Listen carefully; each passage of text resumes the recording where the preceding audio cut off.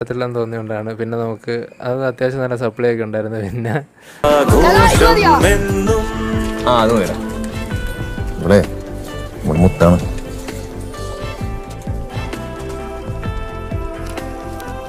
കിടക്കട്ടൊരു കുതിരപ്പാവൻ നീ കണ്ണുണ്ടടാ. പോളിപ്പാറ വേണം.